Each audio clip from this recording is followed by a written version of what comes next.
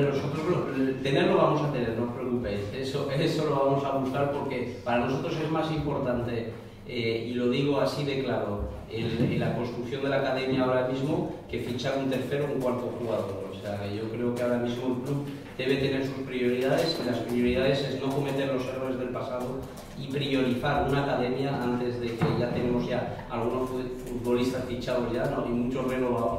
Entonces empezar a pensar en la academia y después que